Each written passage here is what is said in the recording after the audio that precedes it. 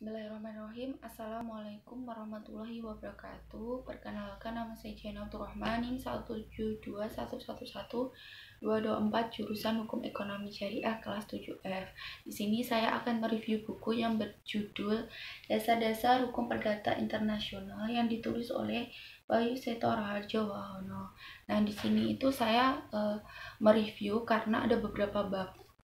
Langsung saja saya akan menjelaskan hasil reviewan dari buku ini. Yang pertama itu bab 1 yang membahas tentang pengertian hukum perdata internasional. Di sini itu dijelaskan bahwa hukum perdata internasional yaitu serangkaian kaidah-kaidah asas-asas atau aturan hukum nasional yang mengatur tentang peristiwa atau hubungan hukum yang memiliki unsur internasional.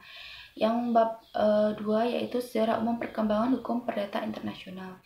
Nah, sejarahnya yaitu pada masa Romawi abad ke-2 sampai ke-6 Masehi. Nah, di situ itu dikatakan sebagai awal muncul perkembangan perdata internasional. Walaupun uh, di situ mereka belum memiliki peristiwa-peristiwa atau pengertian uh, sesuai dengan hukum-hukum modern, tetapi mereka sudah menerapkan pola-pola hubungan hukum internasional yang sesederhana mungkin.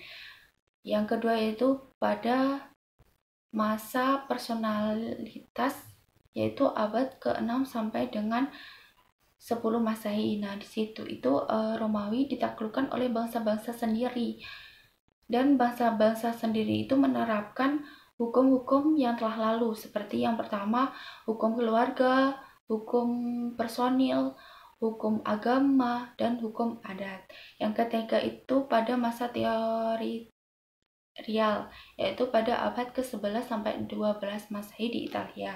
Nah, di situ itu e, masyarakat itu sudah condong kepada e, unsur teoritas sehingga e, di wilayah Eropa itu diterapkan di wilayah Eropa Utara dan di wilayah Eropa Selatan.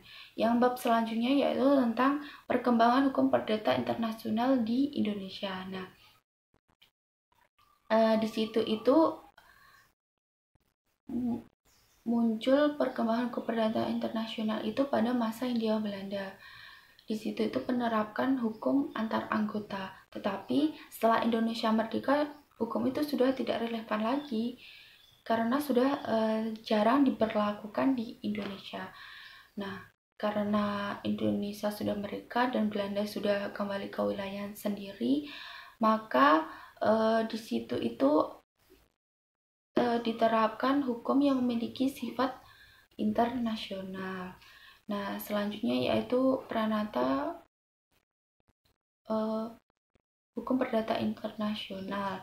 Nah, di situ itu ada dua macam yaitu tentang titik taut dan kualifikasi. Titik taut sendiri itu ada dua titik taut primer dan titik taut sekunder. Titik taut primer itu membahas tentang fakta-fakta yang telah ada di dalam hukum asing.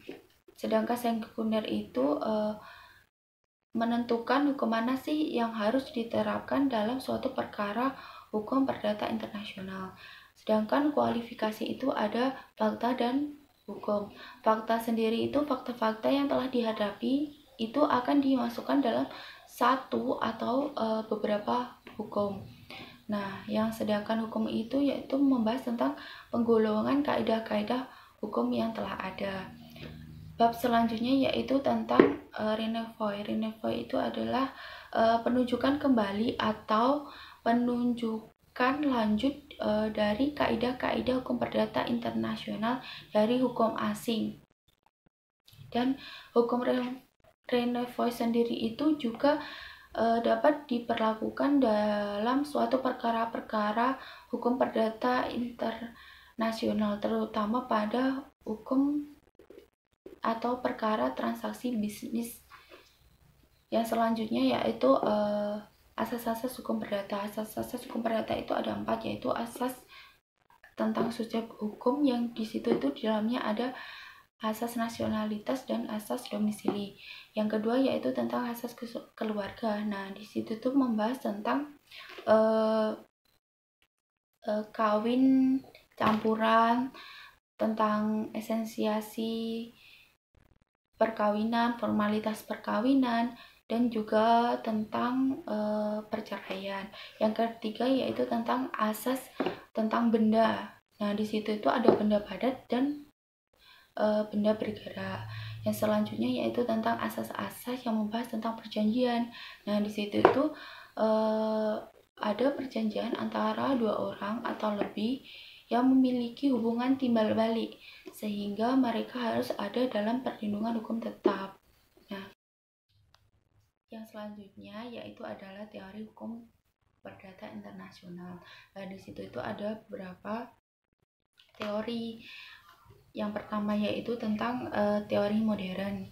Di situ itu menjelaskan bagaimana sih memperluas persoalan-persoalan hukum perdata internasional yang dahulu pokok perkaraannya itu akan dimasukkan eh, kepada teori-teori yang real. Terus yang kedua yaitu teori hukum perdata internasional, di mana hukum perdata yang tertera itu di dalamnya itu akan disesuaikan dengan kebutuhan untuk mengajukan suatu uh, perilaku yang akan uh, digunakan untuk menertibkan pergaulan-pergaulan uh, internasional. Terus yang ketiga itu yaitu teritorial uh, mengenai titik-titik tolak uh, dari kedaulatan.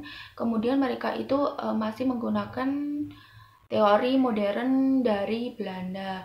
Terus uh, teori hukum lokal itu uh, dapat dipergunakan sebagai uh, bandingan usaha untuk menetapkan bahwa teori tutorial itu sebagai tindakan radikal.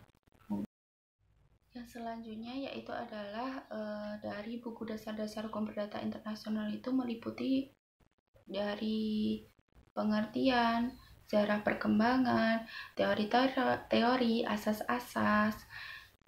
Itu uh, ada perselisihan-perselisihan di antara negara, yaitu perselisihan hukum yang sangat luas dan sangat uh, berkembang di kaidah-kaidah hukum. Nah, perselisihan itu tidak hanya meliputi dari hukum perdata internasional, tetapi uh, juga dari hukum adat, hukum keluarga, hukum agama, dan kewenangan dari suatu negara atau wilayah. Nah, jadi di sini diberlakukan hukum perdata internasional itu dikarenakan untuk mengetahui atau untuk memfungsikan mana sih hukum yang harus diberlakukan di dalam suatu perkara atau peristiwa-peristiwa hukum internasional di antara dari uh, dua negara atau dua wilayah yang terkena atau memiliki kasus hukum tersebut.